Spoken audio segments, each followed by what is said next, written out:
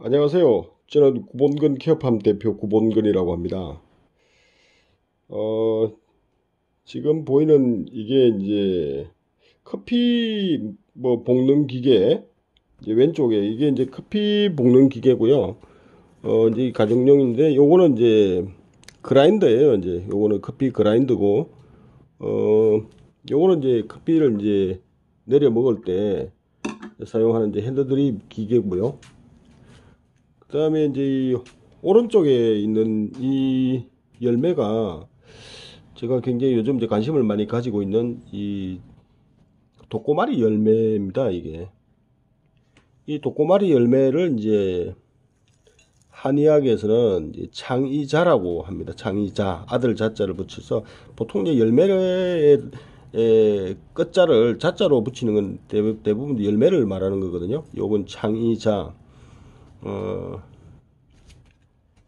요걸 제가 지난번에 이제 어, 늦가을에 최종을 해서 이제, 이제 가공을 해 놓은 거예요. 이걸 이제 법제를 해 놓은 거죠. 이거는 어, 이걸 이제 전기에 쪄서 어, 이제 건조하고 다시 이제 어, 팬에다가 이제 덮어서 어, 가시를 제거한 거 어느 정도 제거했어요. 근데 완전히 이제 제거하지는 못했고요. 그 다음에 요 여기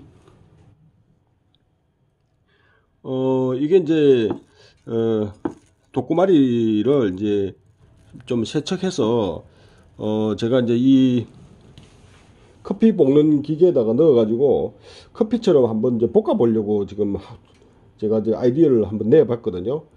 어, 이게 이제 사실은 독고마리를 이제, 에, 어떻게 법제할 것이냐. 제가 이걸 가지고 이제 좀 계속 고민을 좀 많이 하다가 아 이거 커피처럼 이렇게 볶고 그걸 갈아서 커피처럼 한번 내려 먹어 봐도 좋겠다라는 생각을 제가 이제 하게 된 거죠. 어 그래서 제가 이제 오늘 첫 실험을 지금 한번 해 보려고 지금 어이 장, 장비를 이제 준비를 했습니다. 요거는 이제 도꼬마리를 이제 어 물론 이제 세척을 해서 어 여기 이제 어 커피 볶는 기계에다가 이렇게 이제 커피처럼 넣어 가지고 어 이게 이제 볶으려고 이렇게 이제 완전 세척을 다 해놓은 겁니다. 어, 여기에는 이제 세 종류의 독고마리가 있는데요. 음, 여기 이제 오른쪽에 있는 요 독고마리하고 이제 왼쪽에 있는 요 독고마리하고 잘 비교를 해보면 어 요게 이제 또 요 독고마리 왼쪽에 있는 독고마리가 오른쪽 독고마리보다 조금 더 슬림해요. 슬림하고 어 그다음에 가시가 좀 더 썬거려요. 이게 가시 숫자가 오른쪽 독고마리가 훨씬 많아요. 이게 보면 굉장히 오밀조밀하게 이제 가시, 가시가 지금 나 있잖아요. 근데 요거는 가시가 조금 썬글게 나와 있어요. 그 독고마리 종류를 이제 크게 세 가지 정도로 나눌 수 있는데요. 어, 첫째 이제 그냥 독고마리라고 하는 게 있고 그 다음에 이제 이 큰 독고마리라고 하는 게 있고 그 다음에 가시 독고마리라고 하는 게 있어요. 제가 이제 요 가지고 있는 이 독고마리는 두 가지 종류예요. 근데 요게 어 제가 알기로는 그냥 일반 독고마리고 요게 이제 큰 독고마리 예, 그렇게 알고 있는데 제가 이거 100% 확신을 할 수는 없습니다. 왜냐하면 인터넷에 나와 있는 독고마리 같은 설명들이 사실은 아, 정확하게 정확하다고 볼 수는 없거든요. 그래서 이 부분은 제가 정확하게 음, 그 차이를 나중에 한번 더 제가 자료를 보고 제가 확인을 해 보겠습니다. 근데 여기에 있는 독고마리는 가시 부분이 좀 제거가 됐잖아요. 제가 요거를 이제 지난 가을에 이제 법제를 해가지고 가시를 좀 제거한다고 제거를 한 겁니다. 근데 이제 이, 이 가시가 워낙 이게, 이, 질겨가지고 이 가시가 쉽게 안 떨어져요. 그래서 이 가시 부분을 제거하는 게 되게 쉽지 않은 작업이더라고요. 그래서 이제 독고마리를 뭐 그냥 이거 이제 햇볕에 말려가지고 뭐 끓여서 한 30분 이상 끓여서 먹으면 독성이 이제 없어진다는 그런 얘기도 있고 어, 그냥 이 가시 부분에 독성이 있기 때문에 이제 이 가시를 완전히 이제 제거해야 된다는 뭐 이제 말씀을 하시는 분들도 있는데 이걸 이제 완전히 제거하기는 어려워요. 그 다음에 이제 요게 이제 어 일반 독고말이에요. 약간 보라색 빛이 나면서 어, 요거 이제 약간 검은 빛이 더 나는데 요거는 제가 이제 보관을 잘못해서 이제 색깔이 이제 이렇게 검은색이 나, 나는 것이고요. 어, 약간 이제 보라색 빛에 가까워요, 사실. 이걸 제가 이제 습기가 들어가는 상황에서 이걸 덜 말린 상태에서 이제 용기에 담아 놨더니만 이게 약간 이제 곰팡이 같은 그런 게 이제 펴서 이게 색깔이 완전히 새카맣게 된 거거든요. 근데 실제로는 어, 요 색깔이 요 색깔이에요. 약간 이제 보라색.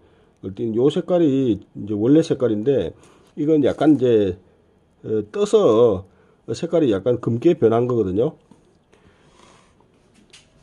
그 다음에 이게 이제 어 제가 이제 가장 많이 지금 채종을 해 놓은 이 독고말인데요. 어 이걸 제가 이제 여기 뭐 어, 덜해 가니까 독고마리 이게 이제 제가 어릴 때 보던 독고마리가 있어서 이걸 이제 모종을 캐서 이제 제 밭에 옮겨 심었어요. 메리골드 밭에 옮겨 심었는데 이게 이제 꽤 이제 많이 이제 수확을 했죠. 요거는 이제 대부분 제가 이제 이 내년에 이제 파종을 하려고 이제 씨앗을 지금 지금 받아 놓은 거거든요. 물론 뭐 좀 이걸 이제 법제를 해서 차로 이제 좀 끓여 먹어 보기도 하고 이 정도 뭐 다 심으면 너무 많아 가지고 뭐 제가 한한 지금 한 천 평 정도 이제 심어 볼 생각인데요. 어 이게 이제 독고마리는 뭐 그름 같은 것도 많이 안 해도 되고 또 이게 뭐 병충해도 없고 이래서 어 아주 이제 재배하기는 주, 좋습니다. 그리고 어 이게 이제 뭐 잡초보다 더 빨리 자라고 더 잎이 넓어서 어 잡초를 이기는 그 식물이에요. 그래서 아 이거는 뭐 일손이 좀 덜 가겠다 싶어 가지고 제가 어 내년에는 좀 독고마리를 좀 많이 심어 보려고 합니다. 어쨌든 지금 이제 이 독고마리를 이제 제가 좀 이게 이제 이파리 같은 거 뭐 줄기 같은 거 털어내고 했는데 이게 이제 워낙 가시가 이제 갈고리 모양으로 돼 있어서 이파리가 이게 묻으면 잘 안 떨어져요 이게. 그래서 이제 손질하는 게 상당히 까다롭더라고요. 그리고 또 이게 가시가 있어서 이게 맨손으로 만지면 아파요 이게. 요걸 이제 여기 어 커피 볶는 기계에다가 넣어 가지고 지금 이제 법제를 지금 하려고 하거든요 한번 이제 어 봐주십시오 이제 이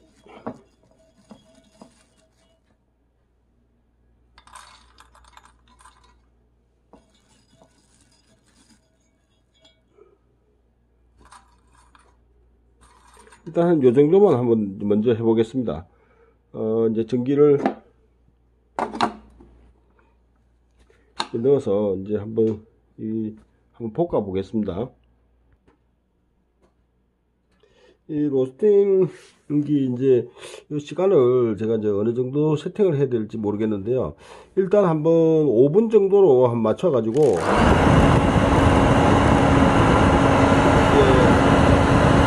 볶아 보겠습니다.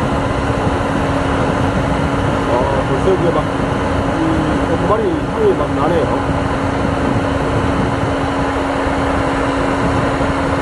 어, 지금 또 볶인 정도를 이제 봐가면서 시간을 다시 조절을 해보겠습니다. 지금 꺼졌는데요. 5분이 지나서 꺼졌는데 어, 제대로 볶인 것 같지는 않아요. 그래서 한 5분 정도 더 한번 볶아 보겠습니다.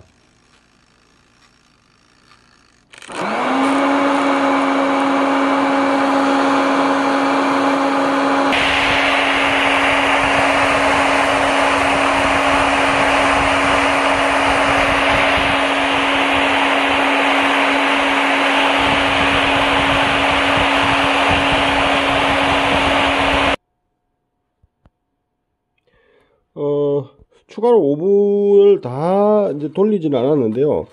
어, 이 정도 하면 이제 제대로 볶인 것 같아요. 그래서 제가 한번 이거, 이거를, 어, 가시가, 가시가 이게 되게 아파요.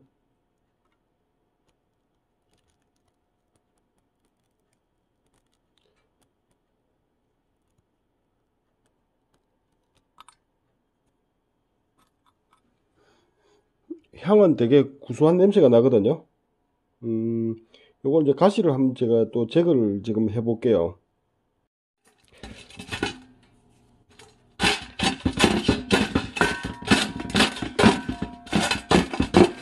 이렇게 이제 이게 이게 뽕나무를 제가 뿌리로 이제 캐서 이걸 잘라 놓은 건데요. 이걸 이렇게 이제 문질러 보니까 어 가시가 비교적 잘 떨어지네요. 그래서 이 가시 제거하는 이런 작업들이 어, 만만치가 않아요.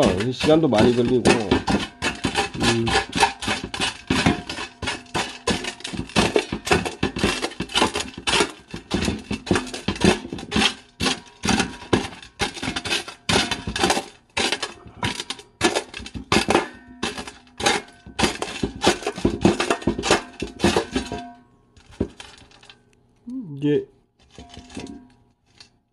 같은 경우는 이제 가시가 완전히 제거됐잖아요. 이런 식으로 어, 가시를 이제 제거하면 되는데 이렇게 완전하게 제거하기는 되게 어려워요. 예. 예, 이제 이 어, 가시를 어느 정도 이제 제거한 거를 어 이게 이제 그 그라인더에다가 넣어서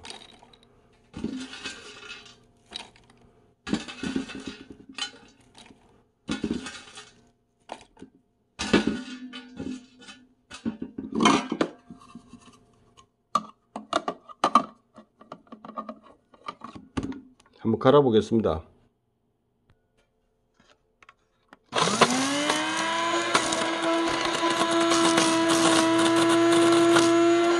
갈릴지 잘 모르겠네요. 아, 이게 이제 가시에 걸려 갖고 안 내려가네요, 이게.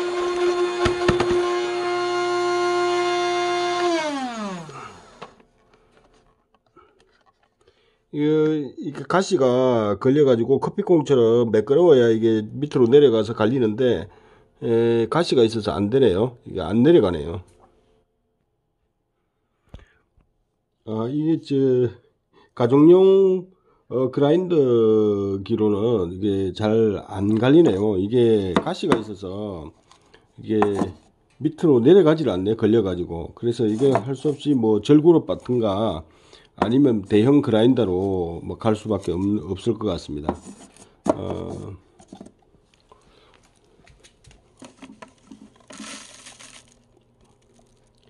오늘은 이렇게 조금만 뭐 해가지고 뭐 한번 맛을 보겠습니다. 그러면.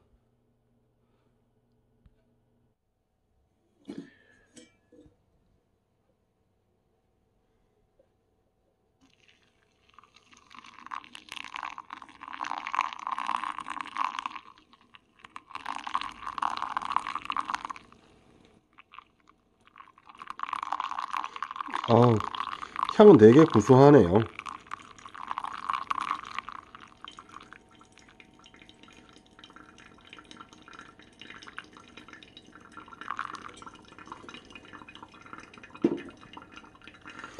어, 커피하고 같이 이제 이 도꼬마리를 블렌딩해서 어, 하는 방법도 한번 생각은 해볼 수 있겠네요. 어, 이제 그 헤이즐넛 커피가 그 개암나무 열매를 이제 그 섞어서 한 건 커피를 이제 헤이즐넛 커피라고 하거든요. 그래서 요것도 이제 그 도꼬마리 열매 볶은 걸 이제 갈아서 커피하고 블렌딩 해서 먹으면 커피가 되게 이제 고소한 맛이 날 것 같아요.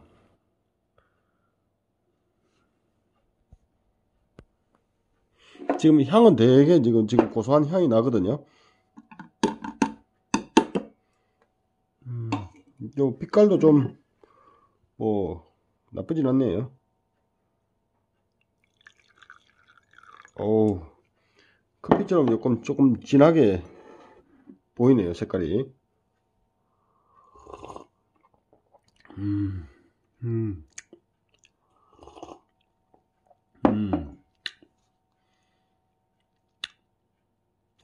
그냥 먹, 먹을만 한 것 같습니다.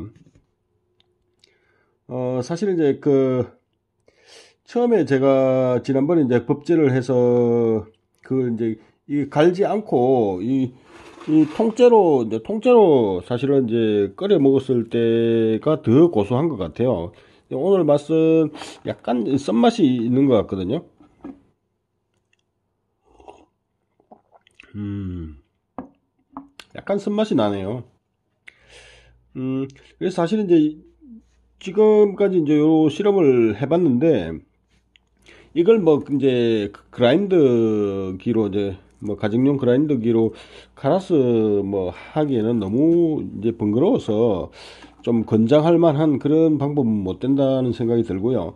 결론적으로 이제 제 나름대로 이제 한번 결론을 내려보자면 어 제가 처음 했던 방식이 제일 나은 것 같아요.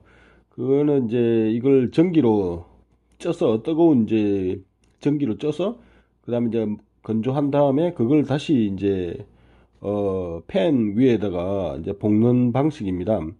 그걸 볶아서 어, 그걸 이제 그대로 어, 주전자나 뭐 티포트 같은 데 넣어서 끓여 마시는 게 되게 더 구수한 것 같아요.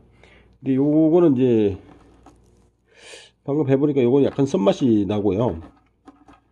이것도 이제 최종 시기도 이 열매가 이제 완전히 덜 익었을 때 최종을 해서 이제 차를 만들었을 때와 이 열매가 이제 완전히 익었을 때 그 차를 만들었을 때 맛이 좀 다르지 않을까 그런 생각이 좀 듭니다. 어, 지난번에 제가 만드는 저 만들었던 그 도꼬마리 차는 좀 덜 익었을 때 완전히 이제 연걸지 않았을 때 어, 쪄서 이제 말려서 덮은 음, 차기 때문에 그 차는 되게 맛이 고소했거든요. 근데 요건 약간 쓴맛이 있어서 앞으로 더 실험을 해서 비교를 해봐야 되겠지만 어, 지금 같은 조건에서 지금 이걸 법제를 한 게 아니라서 사실 단순하게 맛을 비교하기는 조금 어려운 것 같아요. 어쨌든 어, 이렇게 이제 너무 커피 이 핸드드립 방식으로 이 도꼬마리 차를 해먹기에는 너무 번거롭다는 거. 음, 그래서 이제 요거를 앞으로 좀 더 어떻게 개선을 해볼, 봐야 될지 좀 더 고민을 해봐야 되겠네요. 이걸 이제 대, 대형 이제 그 로스팅기 같은 데 넣어서 어, 좀 하고 또 대형 그라인더로 갈아서 뭐 한번 해보는 그런 저 나름대로 한번 상상을 해보는데 어, 그것도 이제 한번 어, 시도를 해서 맛을 한번 봐야겠죠. 예. 오늘 여기서 마치겠습니다. 여러분 감사합니다.